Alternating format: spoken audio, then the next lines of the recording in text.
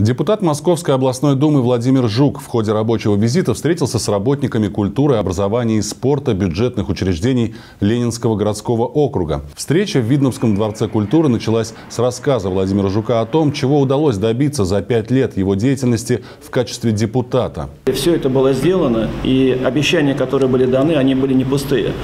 Но означает ли это, что теперь уже все?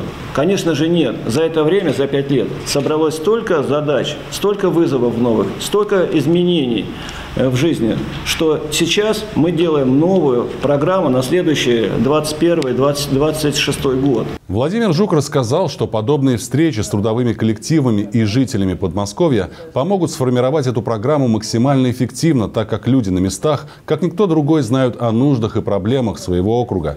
Первым взял слово начальник управления по делам молодежи, культуре и спорту Моисей Шамаилов, который предложил больше времени уделять развитию социальной инфраструктуры в новых микрорайонах должно закладываться каким-то образом в каких-то нормативных документах на уровне правительства Московской области и областной думы, чтобы в микрорайонах появлялись мини-комплексы, то есть учреждение здравоохранения и образования, да, это важно, это составляющая жизни. Можно в конце концов от всего отказаться, но это должно быть. Директор Центра культуры и досуга Ладыгина Надежда Стребкова призвала обратить внимание на состояние объектов образования и спорта в отдаленных поселениях муниципалитета, в частности в поселке Володарского. У нас школа искусств, у нас все приспособлено, в пристроечках каких-то, понимаете? Все поднятые на встрече вопросы и проблемы депутат Владимир Жук обещал рассмотреть и по возможности принять меры.